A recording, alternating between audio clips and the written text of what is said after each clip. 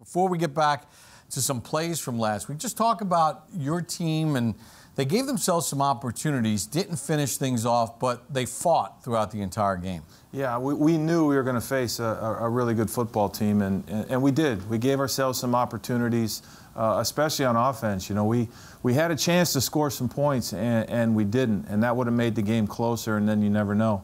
Uh, and then on defense, there were a lot of really good plays, but we did give up too many big plays that created the score that uh, didn't go in our way. Coach, we're going to start with how important a return game can be to starting a drive for you. There's no question, and our special teams have really made a positive contribution the whole year. And, and really, what they're charged with doing when they go on the field is they're controlling or enhancing our vertical field position. And so the return part of the special teams is so important. And you'll see here, we had a dynamic return here uh, and, and, really what we did is we set it up as, you know, we kind of doubled number four. So as we count, obviously you got one, two, three, four. So we had a double on four as we go through. We doubled on three, and then we ran a right return here, which we will get a chance to see. But what you notice here, and a lot of times there's a lot of penalties on special teams plays.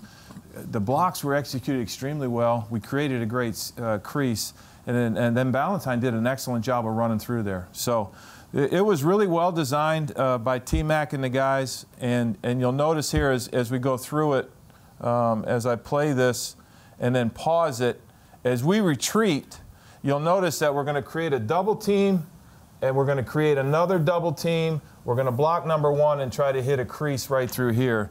And so as you watch it happen from this view, you can see some really good blocks. So we get a double team here on number four.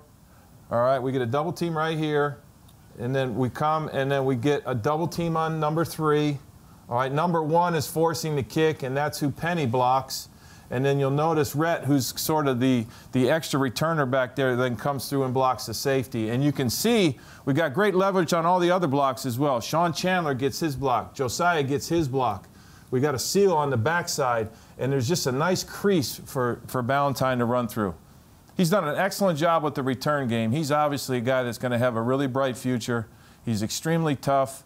And when we get the ball out at the 50 yard line, that gives us an opportunity to score. Coach, right at the top of the screen, you had a guy who could potentially have gotten that call back, and he throws his hands up and does not commit the foul right there. His decision here not to kind of put a kill shot on him really was significant, and it was really smart on Stupar's part. All right, so that kickoff return by Corey Ballentine had helped set up the touchdown in the ball game. Just take us through this pass play right. uh, to Darius Slayton, his second play of over 30 yards this year. Well, it's, it's, it's similar to the, the play that we threw to Engram for a touchdown. So basically what we did here is we had a play action fake away, and that's Penny in there who was filling in, obviously, for Gallman.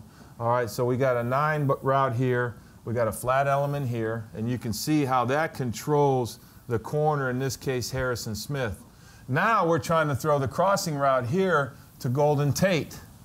And then we're running a post behind it so that if Golden Tate's covered and then the safety squeezes the crossing route, then Dan's got a one-on-one to Slayton. And so progression-wise, really, there it is again. One, there's uh, 1A, there's one. Two to the crosser, three to the post, and because of the contour here, he went outside, looks more like a go route and then four to the back. And so as it plays out, once again, it's good quarterback play. Um, you'll notice the routes, the protection is excellent. The play action fake helps hold the linebacker. You'll see we get, uh, in this case here, Kendricks to step up. Right, we're trying to hit the crossing route when this is all taken away. All right, since Barr is in the throwing lane and then the middle safety squeezes the crosser, that assures us of a one-on-one down the field. And then this was just a really good throw and a really good catch, and it became the touchdown in the game. So that's a little bit about what Slayton can do. Daniel made a great throw and ended up being a score. And Slayton went against one of the league's top cornerbacks on that play as well. Exactly. To beat Xavier Rhodes on any type of route is really good, and I, I, really feel like Slayton's making making a good push here. You know, he's a young player that's getting better each week. All right, so it doesn't get any easier this week. Stephon Gilmore, the veteran Jason McCourty. You got Devin McCourty, Patrick Chung, and it feels like 18,000 other defensive backs. Sure. Talk about the challenges of this defense against your squad this week, considering the fact that you're also shorthanded. Yeah, well, they're, they're a defense that has all the elements of what makes for a great defense. Uh, they're very sturdy against the run. Uh, they're excellent in coverage when they choose to go one on one. They play their zones in a very disciplined way, and then when they choose to create pressure, they can do it with four rushers, or obviously they. We all know that Bill likes to bring pressure, so it's going to be a challenge for us. But we're looking forward to the opportunity, and we'll be up there getting after it. Hey Giants fans, Jabril Peppers here. Want to be the first to see Giants videos? Subscribe now.